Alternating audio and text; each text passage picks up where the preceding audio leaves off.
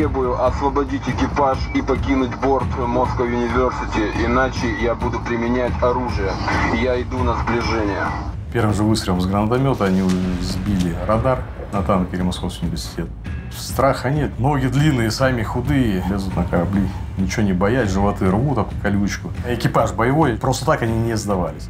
Мы стояли на быстроходной лодке под бортом, и пират с 7-8 метров открыли огонь по нам. У них у всех глаза красные, налиты кровью.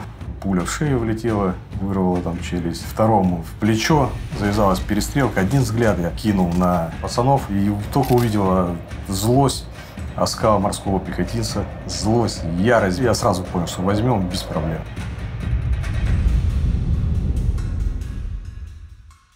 В Аденском заливе успешно завершилась операция по освобождению российского танкера, захваченного пиратами. На борту судна находились 23 наших соотечественника. На корабле выведены из строя судовые радары и средства связи. В корпусе есть и отверстия от пуль. Спецоперация, которая войдет в учебники по освобождению заложников. Так во всем мире сейчас оценивают действия команды корабля «Маршал Шапошников», а самих моряков называют героями.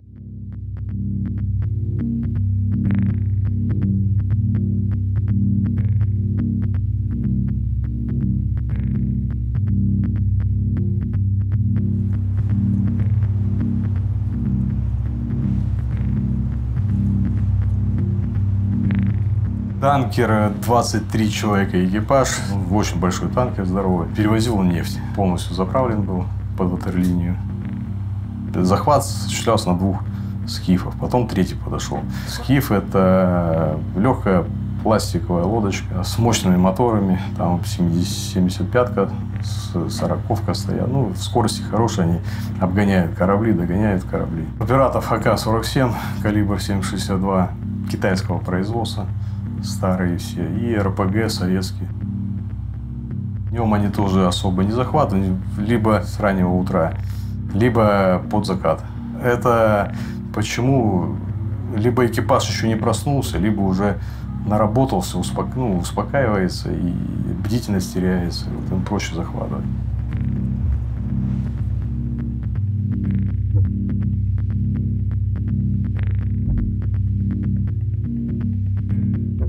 Пираты выдвигаются на идентификацию судна. Вот. я так понимаю, что действовали не просто так, по наводкам. Одна лодка подошла, посмотрели, помахали оружием с применением гранатометов. Первым же выстрелом с гранатомета они сбили э, радар на танкере Московский университет. И тем самым пропал Саисов. АИС, ну, это приборы, где определяются суда, местоположение судов, капитан судна. Московский университет вышел на наш э, корабль по связи. Объяснил, что происходит в данный момент. Мы уже начали вычислять их по аварийному бою. То есть аварийный буй через компанию «Новошип» скидывали нам координаты, где находятся. Вот, и мы знали, куда идти, где они сейчас находятся.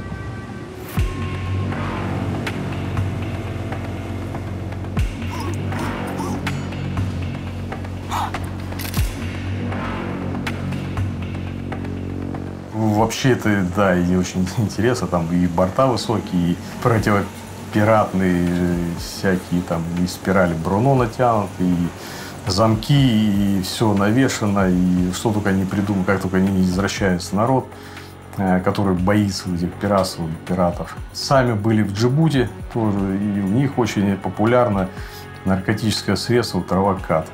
Они жуют, у них прям с детства там Э, женщины, дети, все пожевывают травку. По рассказам, э, она притупляет чувство боли, страха, э, жажды. Человек становится как зомби. Страха нет, ноги длинные, сами худые, и лезут, лезут на корабли. Ничего не боясь, животы рвут об колючку. Ну, зарастает. Ничего не страшно.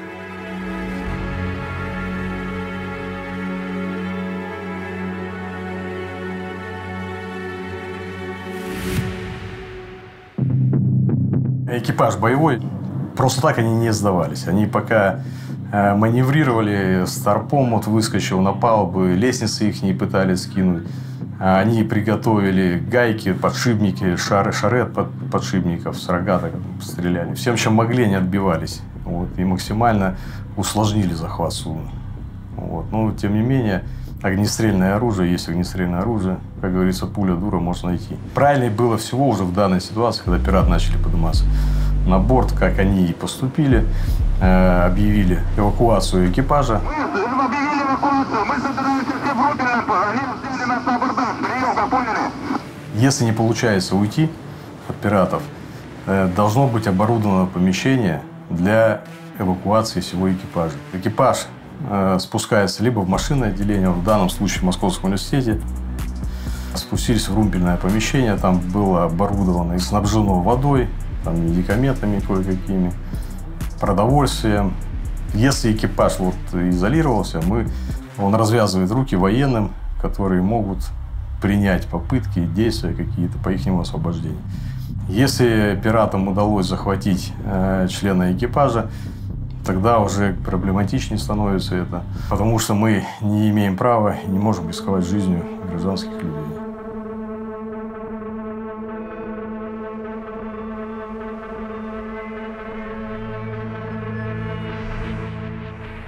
Соединение Евросоюза и НАТО отдельные два соединения работало. Вот они нашли по координатам судна это по аварийному бою, вышли на связь, что они изолированы, что они находятся в румпельном помещении, пираты пытаются их достать оттуда. И выходили раза 3-4 в течение дня. То есть, как пролетали самолеты, выходили на связь на 16 канале. И знали, что мы идем, мы готовили группы свои.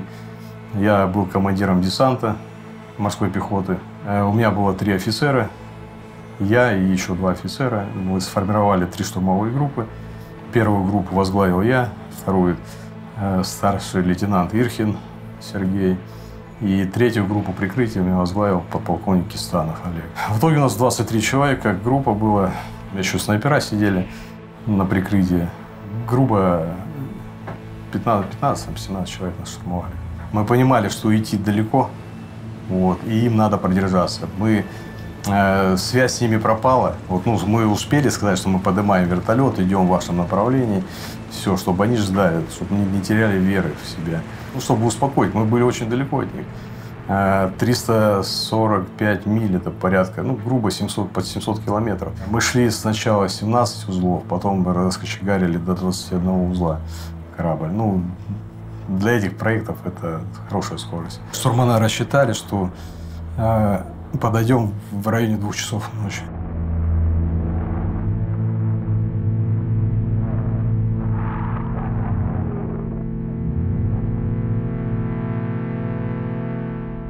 Если честно сказать, есть не могли. Вот. Просто волнение за экипаж. Одно желание успеть. Успеть добежать туда. Началась подготовка. Группы у меня были готовы все. Я в них был уверен. Мы готовили до выхода. Здесь месяц. Переходим по кораблю, все облазили, по кошкам лазили, как, как это, не знаю, как, как обезьяны. То есть страха не было, важно было только успеть. Парни молодые все, да, у меня 18-19 лет было, контрактники молодые, все рвались в бой. Обращаюсь ко всем, кто находится на борту судна Moscow University. Требую освободить экипаж и покинуть борт Moscow University, иначе я буду применять оружие. Я иду на сближение.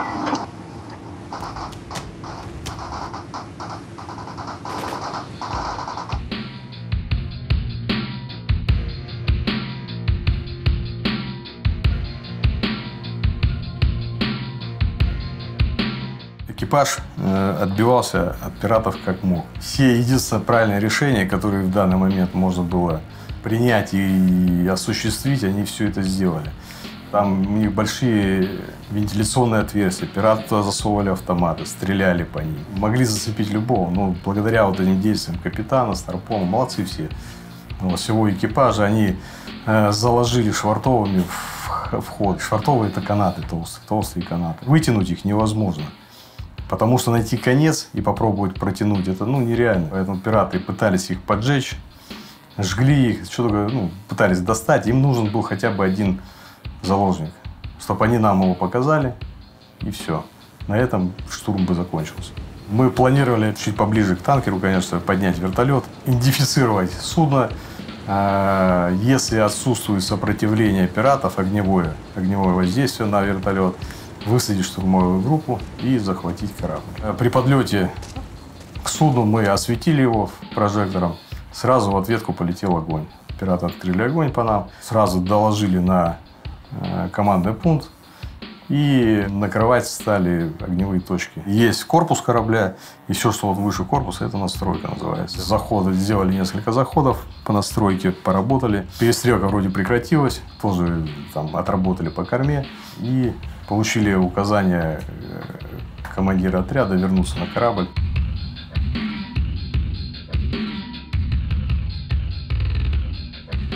128 кабель оставалось. Ну, грубо 12 миль рядышком. Корабль уже был. Вертолет посадили. Я прибыл. Командир отряда собрал нас на принятие решения по дальнейшим действиям. Все обсудили, все обговорили. Мы подошли к Московскому университету, кораблю уже на БПК Шапошников непосредственно. И тогда вышел на 16 канале на нас э, представитель пиратской диаспоры с этого корабля. Ну, знающий английский, у них в команде обязательно должен был один знающий английский язык для общения по выкупам и так далее. И довел нам, что вы что хотите, то и делайте. У нас заложник. Вот, если будете атаковать, мы его убьем. И сразу же вышел по 16 каналу капитан судна Московский университет. Можете брать их живьем или мертвые, как хотите. Мы закрыты в рубленном отделении. И нам сразу это развязало руки. Готовились, да. Ну, чтоб лицо не блестело, и отблесков от света не было. Ну, все равно надо было какую-то маскировку наносить на себя. Идентифицировать себя, там, повязки навязали белые на себя, на левую руку. И лица, конечно, замазали в черный цвет, чтобы не было отблесков. Ну, так, так положено просто. Так и сделали.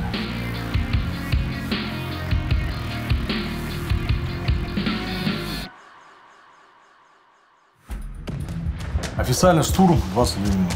Фрегат маршал Шапошников притормозил, скинул ход. Мы, обогнув носовую часть, подошли к корме танкера Московского университета. Подошли незамеченно. Начали забрасывать кошки. Кошки – это крюк с веревкой. Кошку зацепили. Зацепилась за леера. Э, звон металла об металл и разбудили пиратов. Ну, они нас увидели и открыли огонь по быстроходной лодке с расстояния где-то, ну, грубо 10 метров. Очень сложно попасть без тепловизора ночью в африканца, которого не видно, который сливается и с морем, и с ночью, и с кораблем. Он высунулся там, борта, у нас оружие 5.45, они борта не пробивают. Вот, у них 7,62, шьют хорошо. И они вылезли, по нам очередь дали, сели, мы накрываем, понятно все в холостую. Ну, такая перестрелочка продолжалась. Корабль освещал э, световыми зарядами, так сказать, на парашютиках, но снайпера не могли работать, да, не могли поснять никого. После того, как вторую кошку зацепили за Бруно, тоже не удалось за Лерой зацепить.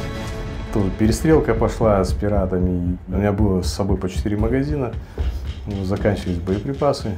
Было принято решение отойти к кораблю, э, перезарядиться.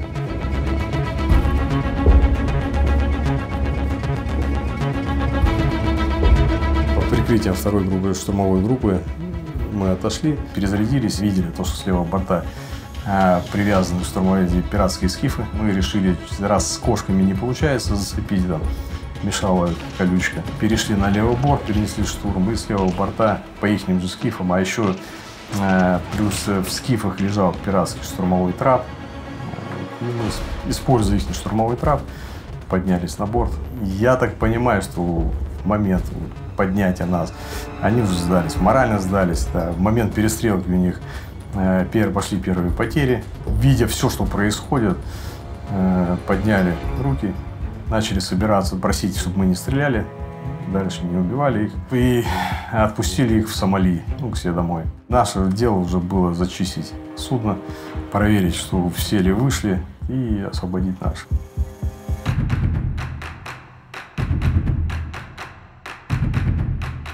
назначенные люди все, произ, производили увязку, их там руки связывали, ноги пока. А я дальше своей штурм, штурмовой группой мы работали по плану, зачистили настройку, всю, вся настройка была в крови, там все, все измазано, видать, э, когда пираты получали ну, ранения свои, бегали по каютам, стали, видать, аптечки, все двери пытались там ножами ковырять, э, подкрывать. Я потом на пиратов рассмотрел, наверное, часа через полтора после полной зачистки судна, когда освободили уже наших граждан российских. Когда уже была возможность подойти, посмотреть, кто вы, товарищи пираты, что вам надо здесь и так далее.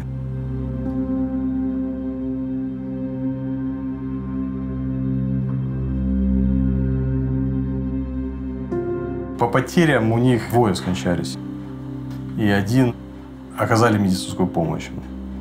Вот, он был ранен на вылет э, в плечо. Пуля одному попала в шею, вынесла кусок ну, челюсть, прям лицо вынесла. Такое тяжелое ранение получил. Вот. Ну, он скончался э, где-то в течение там, часа примерно. Вот, а второй мы не заметили, да, сразу ранен был в копчик. Не видно было, ни крови не было. Вообще у них кровь практически не шла. Вот. Очень странно. Либо это действует вот, травы кат. Вот. Я, я так и не понимаю. Обычно, когда пуля прилетает, там лужа крови. Вот. А здесь вообще сухо все. Вот. Раны все сухие. Я ну, не понимаю, почему так. Наши медики высадились тоже на Московский университет после захвата и оказали всю медицинскую помощь, кому это возможно оказать. Вид, конечно, удручающий. Жалко смотреть. Не то, что жалко, ну, в рване, в хламье, ноги все в, в, этих, в язвах. Там. Ну, у них один из отличительных признаков э, оператора – это вот ноги в язвах. Потому что они постоянно в морях, соль вот это, она раздражает, съедает кожу. Кто-то, там молодые были, там 17-18 лет, не помню. Вот, самому старому, там порядка 40, ну даже 18 у них по две жены вот, допрашивали. У них там многоженство развито. Кто-то э, смотрел, опустив глаза, кто-то понимал, что натворил. А там был товарищ такой, такой взгляд у него очень такой волчий прям. У них все глаза вот, налиты кровью, белков практически не видно. Но я так понимаю, это из-за травы. Вот они как едят свой, у всех там, всего там народа. Еще были не разработаны, не приняты международные вот правила поведения с пиратами. Я знаю, что в 2009 году сдали пиратов в Пакистан. Потом вроде как начали на Сейшелах, на островах там тюрьмы готовить, вроде туда хотели их сдавать. Что касается наших пиратов, мы получили указание э, сверху отправить домой. Мы загрузили туда 11 пиратов, два из которых закончились. Ну как закончились, умерли в результате травм. Им дали воды. Э, я не, не скажу сейчас по количеству воды, но 10-литровка, э, по-моему, точно была. Естественно, оружие мы им не вернули, дабы исключить следующих захватов. Да, и дали им шанс. Их никто не звал на российскую территорию. Вот. Мы ничего такого не делали. Мы освободили наших. Они на нас прыгнули с оружия. Они пытались убить российских граждан. Мы освободили российских граждан и отправили сомалийцев домой. Что с ними дальше произошло, никто не знает, и мы не знаем. Доплыли хорошо, надеюсь, что доплыли. Ну, с учетом того, что у них э, были бочки с топливом, у них работающий двигатель, ну, в течение там, суток могли бы догрести. Получилось провести такую удачную операцию, которая, я так понимаю, даже вошла в какую-то историю, что это впервые в мире, в мировой практике это произошло. Э, приезжали даже женщины вот уже в Владивосток, потом пособирали у нас вещи, в частности мой билет тельняшка, забрали в Москву, в Центральный музей вооруженных сил.